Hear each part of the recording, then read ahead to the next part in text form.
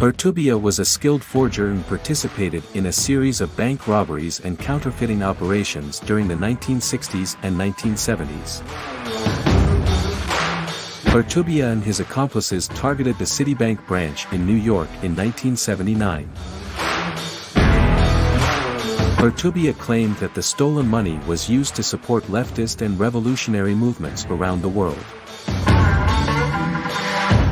Throughout his life, he got five international search warrants being issued against him, including one from the CIA.